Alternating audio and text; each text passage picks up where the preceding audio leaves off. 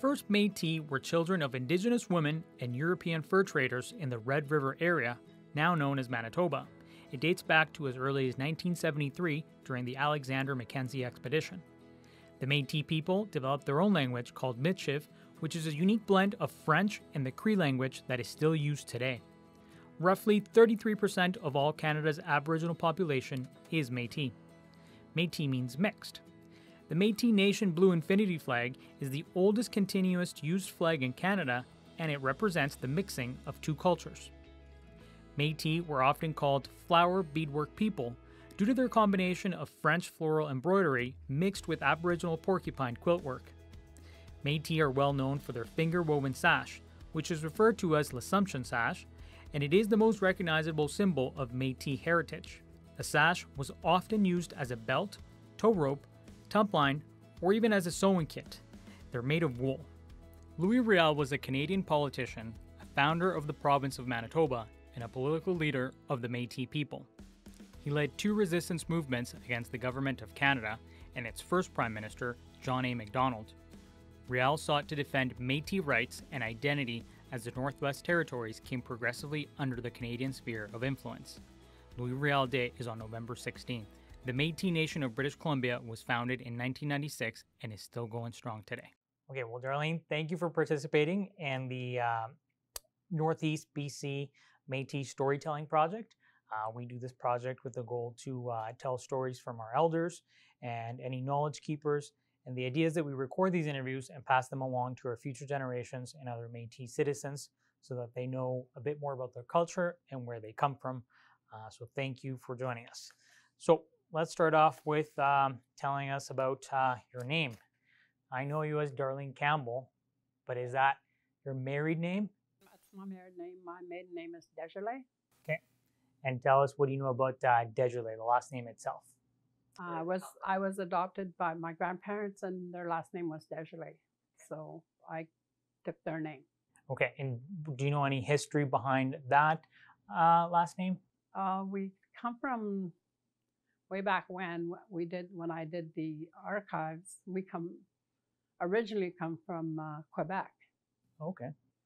and apparently we were Iroquois before Cree. Yeah, so And that's on your um, like with that maternal or uh, This is from paternal side? uh, 1759 is when I, I went back as far, as far as 1759. Okay. So, and upwards. And then we moved up this way. So, But then that Desjardins comes from your aunt who my- adopted my, you? My grandfather. Your grandfather? Yes. Okay. Yes. There was three brothers, three Desjardins, and they were all, we were all born and raised around here. Raised here, but not born here. I was born in Grande Prairie, Alberta. And Desjardins is the one that has culture in the Métis side. Yeah. Campbell has no relation No. to Métis. No. Okay. Just making sure. And uh, were you named after anyone? No. No. okay. and uh, do you have any nicknames? No. No. Okay.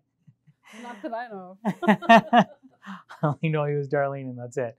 Uh, can we talk a little bit about your lineage, please? Uh, let's talk about. Uh, let's start with your grandparents, since you were mentioning your grandpa Yes. Desjardins. Well, my grandparents, they had nine children, and after they raised their children, then me and my brother came along and they adopted both of us. They adopted four of us all together, and it was um, Loretta, my brother Jay, myself, and Daryl Horseman. So, yeah, so she raised four of us after she raised her nine kids. So, wait, is it nine in total, counting you guys, or nine No. plus Nine plus four. So 13 in total that she ended up raising. Wow, good for her.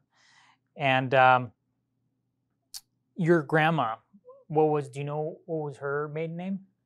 Kellyo. Callio. She was from Kelly Lake. That's Métis as well. Yep. Yep. Do you know anything about her history? Uh, yes, I do. Yeah, quite a bit. Um, she originally came from uh, Kelly Lake, like I said. Yep. And- And they lived all in that area around DeBolt. And I just remember my grandma used to say all those little names and those little towns in Alberta. So, but Um, when I was born, we were living in Sturgeon Lake. Okay, by the time they adopted you, you were in Yeah. Sturgeon Lake. Yes. Where's Sturgeon Lake again, if you don't mind? Sturgeon Lake is just um, about an hour and a half, two hours past uh, Grande Prairie Okay, so in Alberta. in Alberta. Yeah, yeah. But that's a reserve. Okay. Yeah. But we never lived in a reserve. We're not First Nations. We're Métis. That's right. Um, so then, do you know anything about your parents' lineage then? Uh, I know your grandparents adopted you. Well, I, I knew my mother. She was like, she always she lived just about next door to us all my, all my life. So I knew my mother well. Yes. Yeah, I knew my siblings. There was 12, 12 altogether my mother had. Yeah, so think there's down to five of us now from 12. Wow. Yeah. But everybody's passed on now, so And what about uh, do you know if on your dad's side there was also Métis lineage? no, First Nation. Just First Nation. Okay, gotcha. Okay, and then let's talk about uh, your siblings. You said you have a lot. Yeah, I do. Um, and they all live around here. They did. Uh, but like I said, some of them passed away. You said out of twelve, only five remain. Only five remain. Yep. So yeah. Um, okay, well let's talk about your your children and your grandchildren. How many children do you have? I have three I have three daughters and I had a son. My son passed away in um, 2015. Okay. And my three daughters now live in Vernon. That's where I'm trying to get to eventually. And yeah, so And they have kids of their own. they have kids. They have they all they have two two kids each. Oh. So total of six grandchildren I have. Um, let's see. There's Matthew and Austin are the oldest ones. They're both married now. And Carson and Regan. And then Bray, Braylon and Brinley. Then I have two great grandchildren. And the third one on the way. And that's Adley and Eli. Wow. That's really nice. Um, are there any other significant people, like close friends or neighbors, that you consider like family that are also Métis? Uh, I have a lot of we call sister friends, like because we were all raised around Chetwynd, and you know we we grew up together, like you know, and yeah, we all went to school together, and and we still stay friends. And uh, so you came from Sturgeon Lake, right? Right. And then where from Sturgeon Lake, where did you guys end up here? And In Chetwynd, Yeah. was it in Chetwynd? in Chetwynd, but uh, my grandparents used to uh, manage, look after a sheep farm out at Hasler Flats. Okay. And that's where I started school kindergarten. There was four families, and there was ten of us in one little school, with one teacher, from kindergarten to grade ten. What do you What do you remember about going to school? We just well, that I remembered. There is, you know, and all the families still live here. That we all went to school there. There's two of us in grade in kindergarten. There was like one or two in grade one, and it just went on, and it went up to grade ten, with one teacher. Her name was Miss Burns. I still remember that. Wow. Yeah. She was a busy lady then. Yeah. And do you have any um, like special memories about uh, about that time? Um, well, I was only five, five, six years old at that time, but I do have a lot of memories. Yeah, we looked after a sheep farm where that was a lot of work. So, helping my grandparents, me and my brother, you know, then of course you got to walk to school, uphill, downhill, whatever you call it. But no, we didn't have to do that. But it was a long walk. But yeah, then we moved into town, and and I started grade two in town here and the school where the annexes right beside uh, where 7-Eleven is today. Okay. There were school annexes there. That's where I went to grade 2 I had no idea there was a school there before. They were just annexes. Wow. And what was that like? What memories do you have of that? Um, it was good. I, Yeah. I I had a good school. Like I was never bullied. I didn't find racism. Like I I didn't even know what racism was at that time anyway as a child, but I didn't feel I was ever bullied in school. Yeah, so Um, do you recall any interesting stories about? I'm gonna have to back up a little bit because I forgot to uh, ask you here one of them. Um, oh, any interesting stories about uh, when you were at the hospital uh, being born? No. Nothing, nothing special. And uh, what in particular do you remember about your childhood memories? Um, just remembering how poor we were, but not realizing that we were poor. And I, you know, I tell everybody like we were poor, but I was never hungry. We were never hungry. We always had, you know, uh, uh, moose meat or bannock or macaroni or whatever the case may be. But I don't remember ever being hungry. But we were very poor. But yeah, so and my grandfather, um, you know, everybody used to go hunt and share their their harvest, and my grandma always used to make tan, hides, and I used to go snare rabbits with my grandma, and then we would have rabbit stew, and I- I couldn't even look at it today. I'm sorry, I just can't. And I was raised, I was raised with that. That's what we ate. That's what you ate. Crazy. I know. I couldn't do it today though. And that was around here because I think you were telling me Yeah. grandma and well your grandparents they used to have uh, they used to squat right here behind the Legion. Yeah, Moccasin Flats. Moccasin Flats, that's Yeah. right. And that's where like wh- while they were look when when they moved to Chetwynd and while they were looking after the sheep farm, that's where you guys lived, right? No, we lived up behind um, uh, where Tim Hortons is. There used to be another where we squatted also, about 10, 10 12 families again. From there, from that area, then we went to Moccasin Flats. But I don't remember the years. I'm thinking it's uh, early 1960s.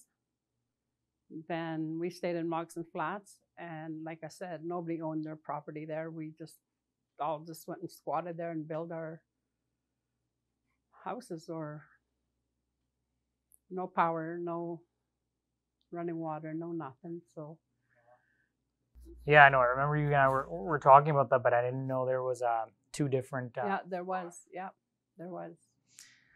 Um, and what do you remember about, I guess, the the settlement at that time with the trap lines and how was the community? Um. Well. Well, my grandfather didn't really go trapping. We didn't do. I don't remember recall him going trapping. I remember squirrels. I, I remember him skinning squirrels and go selling squirrels. You know, with the whatever.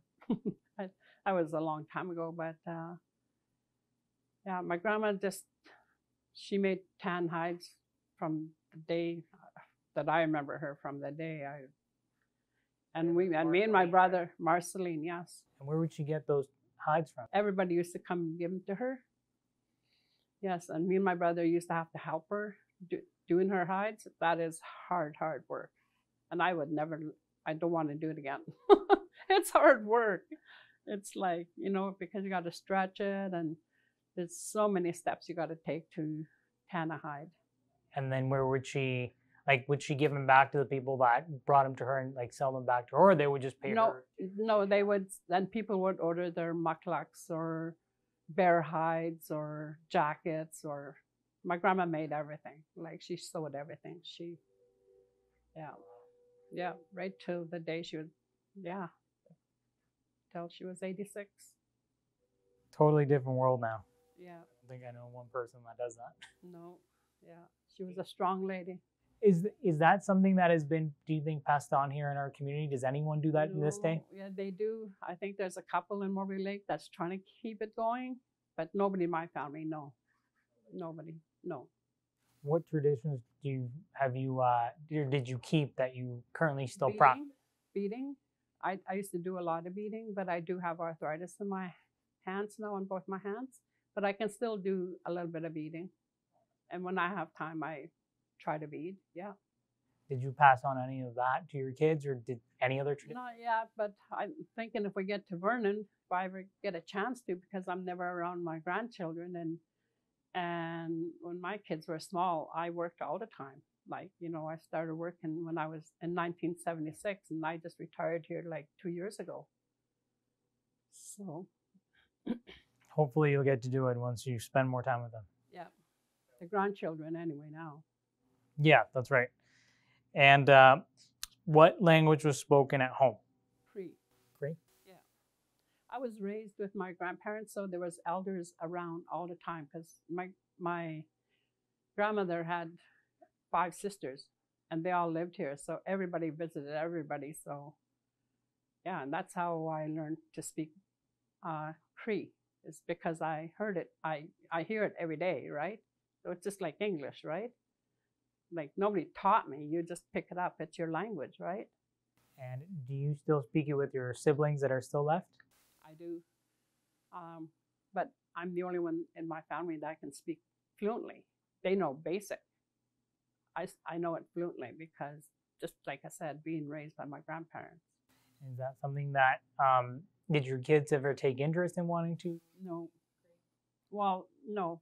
Yeah, no, but I never had time to. I never had anybody to talk Cree to, you know. And my husband's a a, a white guy, so he. I mean, he knows more Cree words than a lot of my siblings do. You know, my siblings are just basic. They just, you know, enough just to get by, but they they can't speak it fluently. Gotcha. Okay. And um, now, as far as all the kids go, like as far as your siblings go, were you the oldest, the youngest? Were you in the middle? I was my brother was the oldest, and I was the second oldest. Oh, wow. What was that like growing up? Was it difficult? Was it, No, no, it was not difficult. No, you have to, I guess, look after a lot of the younger ones then? no, because I was not raised with them. They were raised by my Oh, but even like within the four, because your grandparents adopted four, right? yeah, but we were. Uh, Loretta was the oldest, and uh, Daryl is uh, he has cerebral palsy, so he was in the wheelchair, and he still is. And my gra- and my grandma was his guardian, and then when my grandma passed on, then I'm now his guardian.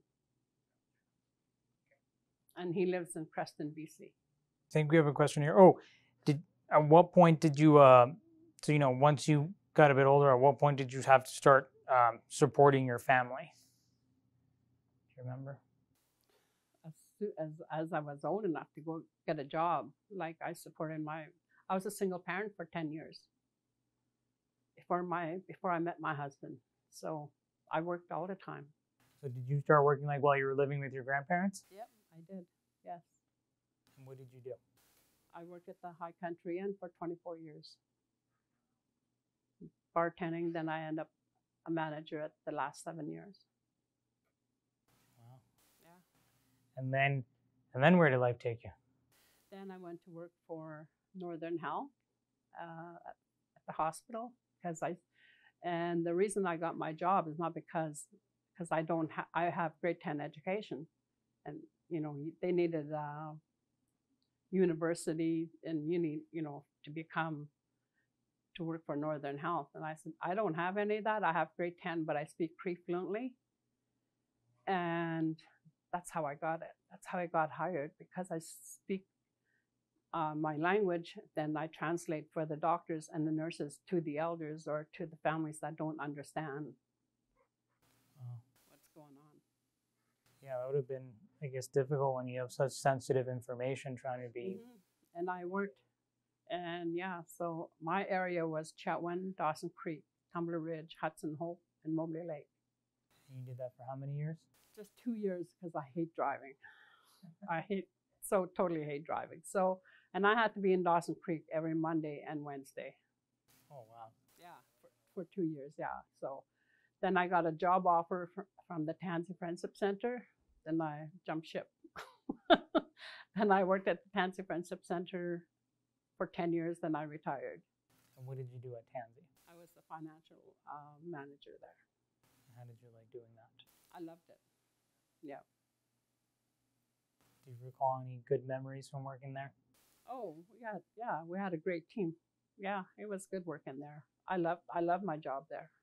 What were some of the, I guess, more uh, memorable projects that you remember working on? Well, I was just strictly financial, right? So I was in the office by myself most of the time. So, but like we did a lot of programs, you know, we had elders program, youth program, like we had all kinds of programs, which is still ongoing to this day. Very important for the community. Um, now, tell us a little bit about um, your maybe. Um, do you have any recipes, traditional recipes that you still cook to this? no, No. no, just my bannock. Okay, fair enough. Um, do you before so before you got married, do you recall any difficult times or any times of upheaval up in, in that moment in your life? no, No. no. Okay. Now let's get maybe into your life when you were you got married. How old were you when you got married? I was 25. 25? Okay. And you got married to Daryl Campbell. Where did you meet him? At the high country, and he was my customer. Oh, well, there you go. yeah, so that's how we met. Uh, yeah, we got married in 1979. So that's how many years ago? 40 some years? 40, 42 years? I'm not sure. I don't Somewhere in the 40s. Now, and you said you were a single parent before you met Daryl. You had, was it just your boy at that time? No, I, I, and Sarah, yes. And my grandma was the one that helped me raise them. She looked at she looked after them while while I went to work. Okay. So without my grandma, I would have never made it. And then you had three more with Daryl then. Two. more. Yeah, yeah. We have three daughters and Barry. Gotcha. Okay. Well, that's nice. And your your grandma helped out a lot then. Yes, she did. Yes, she did. She would look after them while you were at work. Yeah, all the time. Oh, that's really nice. That's nice. Um, tell us a little bit about uh, your um, involvement in the community. Now, like, you worked for all these organizations that ironically were also involved in the community, but I know you volunteer a lot of your time to the community. Yeah, I do. Uh, when my kids were small, I coached Little League right from they were of age to play Little League, and until they quit playing Little League, I coached for many years. I I was a manager for my daughter. Tiffany played uh, ringette and then girls hockey, so I managed that. I was in the curling committee. Oh my gosh, I I, I did a lot. I did a lot for the community, but that's who I love to do that. So, and I'm still doing it today.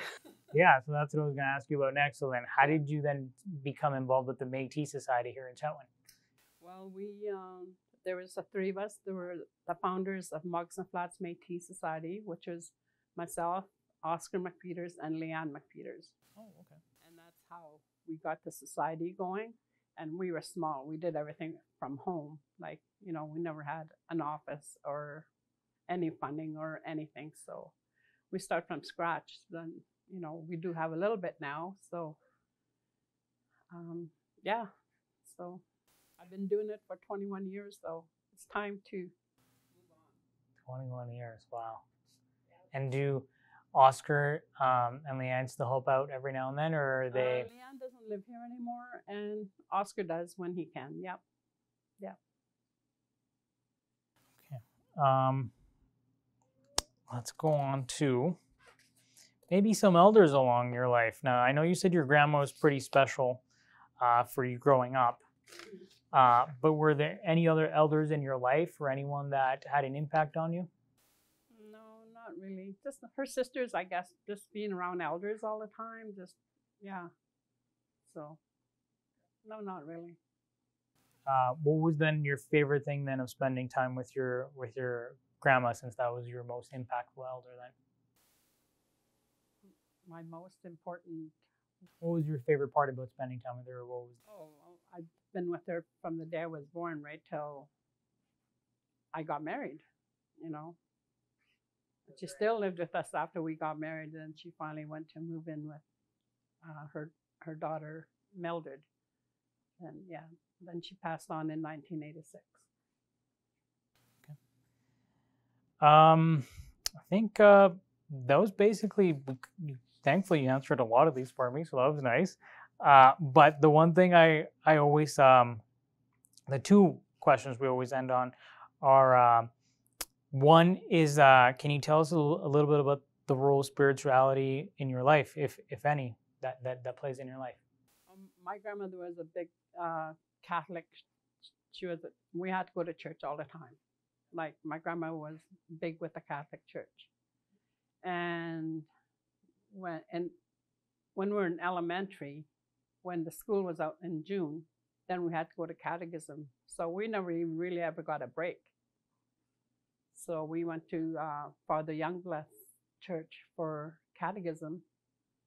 And yeah, it was just something we just had to do. So, and not just me, was just every everybody around us. And is that something that has stayed with you to this day? Yeah, yeah. You know, I used to go to church quite a bit, but I don't anymore. I but maybe one day when I move and have a little bit more freedom, I can go back to it. So, yeah. And what about your your kids or your family? No, none of them go to church. Yes, my uh, grandson, his wife, and their family go to church every Sunday to this day. Yeah. Okay. Um, if you then were to pass on anything to anybody watching this, maybe down the road in the future, any message that you want to pass on to future generations, what would you want to say to them about the Métis culture? Oh, man. Never give up. Follow your dreams. Why never give up specifically? I'm curious. well, because a lot of a lot of people do give up, you know, they give up their education, they give up their children, they you know, sometimes it's a hard life, you know. I've never done drugs in my life. I've never smoked a cigarette in my life. You know, I didn't have those, you know, to hold me back from anything. So, but now it's, there's so much drugs and, you know, it's so bad out there now today. Like, thank goodness none of my children are involved in that or and I have three great son-in-laws are my best friends. so that's a bonus. Yeah. Good. Okay. Well, it's a nice message. Well, thank you again for being part of the uh, Northeast BC Métis Storytelling Project, and uh, we appreciate the stories that you told us. You're welcome.